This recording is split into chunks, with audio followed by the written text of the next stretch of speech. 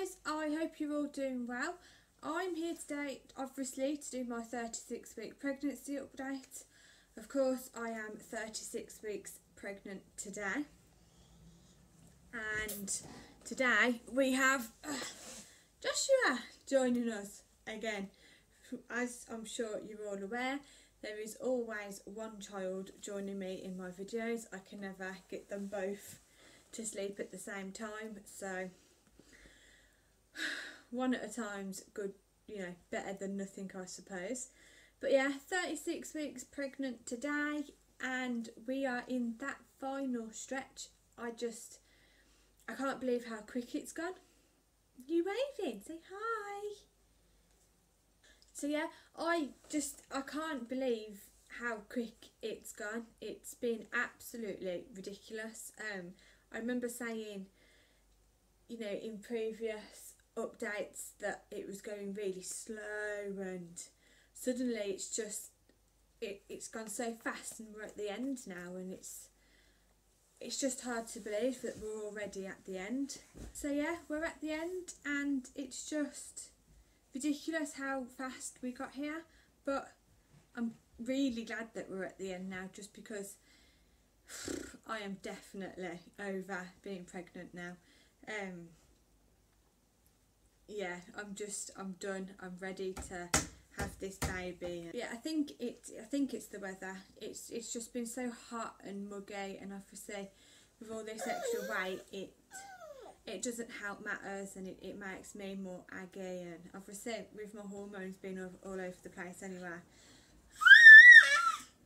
It doesn't make things any easier for um, everyone in close proximity to me.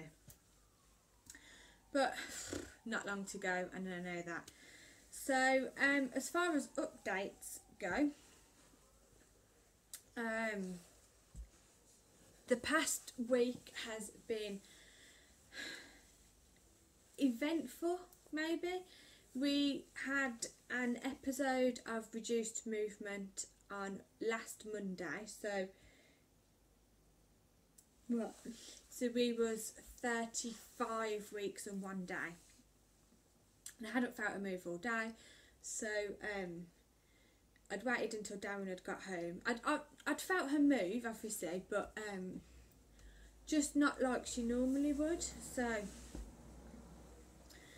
I waited till Darren got home, and when I knew that Darren had finished work and was on his way home, I rang triage, and they said that just to go straight in. Normally, I know that when you ring, they say, you know, do this, do that. Um, you, loads of different things to do to try and get the baby to move. Um, but they didn't say anything like that to me. They just they just told me to go straight in. So we went in, and it was probably about seven o'clock when we got there. Oh, careful! And it took us. It just took us so long to be seen. It took us a good half hour, 45 minutes to be seen in triage um, to get on the CTG. Then obviously we had the CTG um, and I think we were on there for about 20-25 minutes. And then after that it was just the longest wait yeah. ever. They had to wait around for the consultant, speak to the consultant, come and tell us what the consultant had said, yeah. then go back and relay that information back to the consultant. Why the consultant just didn't, couldn't just come and talk to us, I don't know. But there was only one doctor on the whole night, um, which was ridiculous just because it, it just took so long. And obviously, we had these two with us, and they just. They were fussing because they wanted their bed, and obviously I, I kept telling Darren, just go home. Um, you know, I'll get a taxi home and whatnot, but he didn't want to leave in case they said, right, we need to sort something out, blah, blah, blah, blah, blah. But we spoke to the, so in between seeing the doctor and them going and relaying the information back, there was a good half an hour, 45 minutes where we was just left waiting around. So we went to find out what was happening. We went to ask, and they said that the doctor had been called into theatre and no one had not bothered to tell us so we was just waiting around for nothing really um, and then they came back and they just told us that because we had the LV and Doppler scan booked in for the Thursday they was going to move it forward till to the next day, so obviously on the Tuesday, um, and we'd have a CTG done on the Tuesday as well.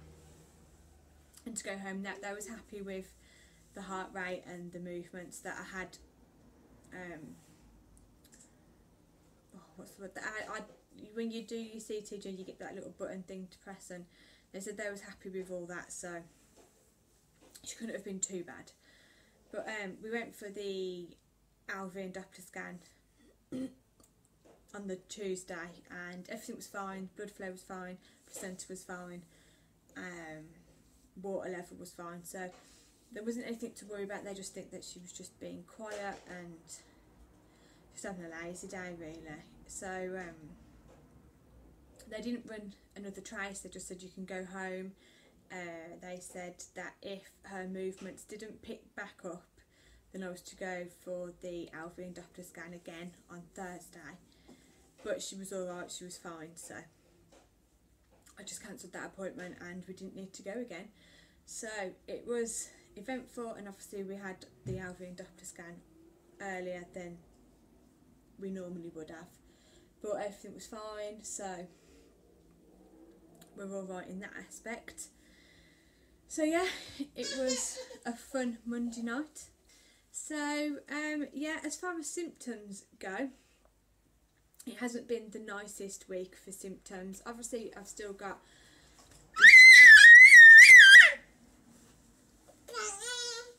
Obviously, I've still got this stupid heartburn that won't go. Um, I have tried excluding garlic from my diet, but it just doesn't happen because I do like garlic a lot. So it's really annoying that I get I'm getting heartburn from garlic, but what can I do? I either stop it or I just live with it. So I'm just living with it at the moment. what? uh, obviously, if I get backache, backache is still like number one bad pregnancy symptom. Um, gone. Oh dear. Oh dear. Oh dear. Did you fall over? Yeah. Yeah. so um yeah, there's backache. Um and then to accompany the backache I now get achy shoulders, achy hips and achy knees. So if you're not aware, I already suffer with restless leg syndrome anyway. So during pregnancy it just intensifies and it gets worse. So these new aches that I've got just feel like I've got restless leg syndrome everywhere. And the only thing that I've found really helps is just to constantly move them. They're only really noticeable at night, but obviously that's because I'm constantly active during the day. So at night I feel it 10 times more and it is interfering with my sleep now. Can't sleep and when I do sleep I'm getting woken up because I'm in pain and it aches and it's uncomfortable and it's just horrible. So I've never had a pregnancy that's made me like deprived of sleep. So this is something new for me, but it's do you know what I mean? Like I'm at the end now, so it's not that bad, but it is bad at the same time, if you know what I mean. Especially when I've got these two to look after, and they don't sleep as it is. So, yeah, um, I am out getting out of breath now. I know I said in previous updates that I wasn't, I was fine with my breathing and stuff, but it's hit me now. Um, only in the past couple of days, and I am struggling to breathe when I talk or when I walk and stuff like that. So, yeah, that's just not fun anymore. I, I don't feel that up here as much as I did these two, but I can definitely tell that everything's up here now just because I can't breathe. So, that's fun. I have my hospital bag packed. Well, I say my bag packed. I have everything that I need for my hospital bag. I just don't have the bag for it. Um, the bag that I used with Joshua it, it it wasn't it was a bit bigger than like a cabin suitcase but I think that that's going to be too big to use for what I've got now because I have literally just gone minimal like I've packed what I will use there and then. There I haven't packed any extras or anything like that so I think it's going to be too big. So I'm going to have to find another I know that my dad does have um, some big cabin suitcase some big some small cabin suitcases that I can use but he's currently using them on holiday at the moment, so I'll have to wait for him to get back um, and see if I can borrow one of them. Once I've got the bag or what, the holder or whatever, I can obviously then show you guys what I've packed in my hospital bag. Um, as far as babies' hospital bags are going, I have everything that I need now, apart from water wipes. Just need to get some water wipes. Um, so once we've got the water wipes, ow, oh, he bit me. ow, no biting. But yeah, once I've got the water wipes, um, I'll show you. I'll, obviously, I'll, I'll I'll do a video about what what I've put in there, and you can all see the cute clothes that we've bought. So there's that. Um, I have a final well, I say final. I'm hoping it's my final growth scan on Thursday, so I'll be 36 and four days. And hopefully that will be our last one. They did say last time that we'd get an induction date. Then, are you just messing up everything in my bedroom? Uh, they yeah they said that they would give us an induction date at that growth scan at that scan or at that consultant appointment. Um, so that's what I'm hoping for because uh, they said that they want to induce between 37 and 38 weeks. Obviously next week I'm 37 weeks so hopefully they will sort that out. So I don't have very long left to do hospital bags anyway so I need to get that done like sharpish. But yeah, there's there's that. Um,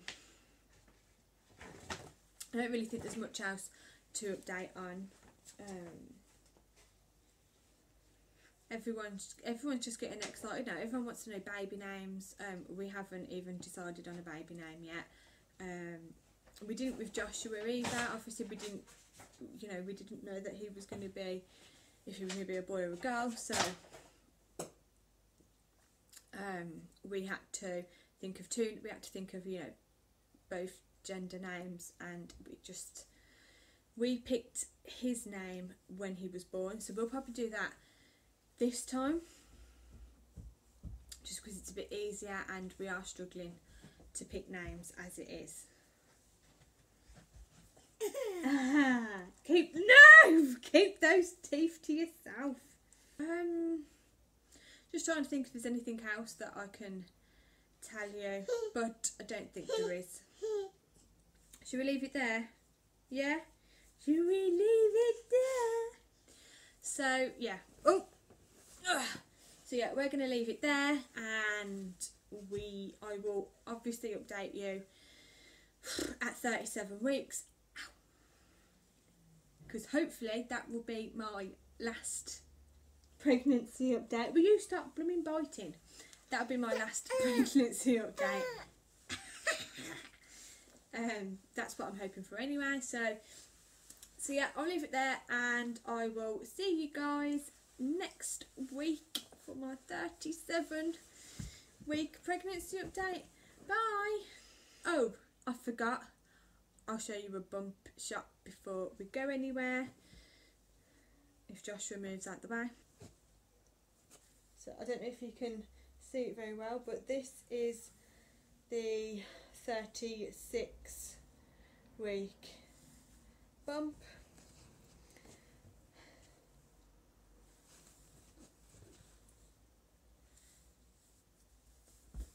And then obviously with the top up.